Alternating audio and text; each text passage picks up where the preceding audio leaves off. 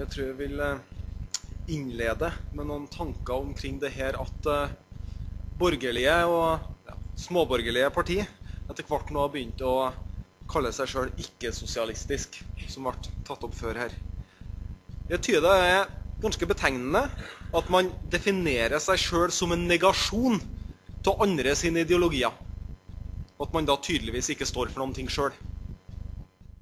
Hvis man representerer et parti som mener at folk skal ha ryddige og gode arbeidsforhold og innflytelse på arbeidsplassen sin, da må man sjølsagt òg ta det her inn over seg som arbeidsgiver. Og demokratiske valg det er en forutsetning for å ha et fungerende demokrati.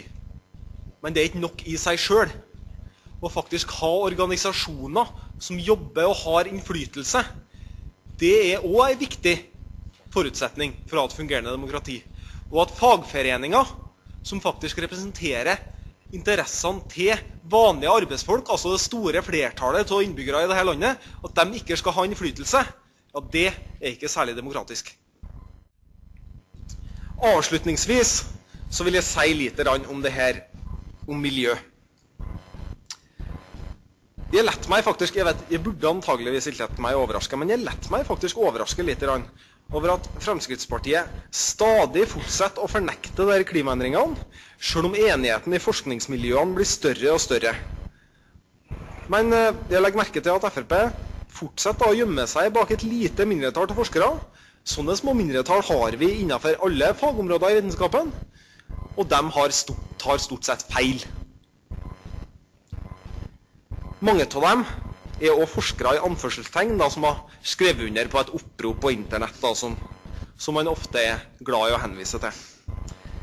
Og jeg tenkte å si det at fylkesordfører, at Hvis Fremskrittspartiet er interessert i det, så kan jeg godt vise dem ei tilsvarende liste på Internett over forskere gjerne der også i anførselstegn, som ikke tror på evolusjonsteorien. Jeg lurer da på om Fremskrittspartiet er så konsekvent at de med bakgrunn i det og da foreslår kreasjonisme inn i f.eks. den videregående skolen. Takk. Og det har seg jo sånn at når vi får kritikk fra både fagforeningene, elev- og lærlingombudet og Fylkesmannen på at elevene ikke får den undervisninga de har krav på, pga. at man ikke har eventuelt da til seg råd til vikarer, så mener jeg at da krever det politisk handling. Særlig når elev- og lærlingombudet sin rapport påpeker at det her var nevnt som et problem òg i fjor, og at det ikke har blitt noe bedring. Vi har derfor et forslag her som går på å ta tak i den problematikken. Så er det jo òg mulig da at vi burde bruke midler på det her. Og nå har vi et stramt budsjett, som flere har nevnt her. Og skolene får ikke engang kompensert for elevtallsveksten. Når vi er under press økonomisk, så mener jeg at det rette å gjøre, det er å beskytte kjernevirksomheter. Og kjernevirksomheter i den videregående skolen, det er undervisning. Så ikke et vondt ord om skoler som regional utviklingsaktør. Men når elevene våre ikke får den undervisninga de har krav på, så kan ikke vi prioritere det.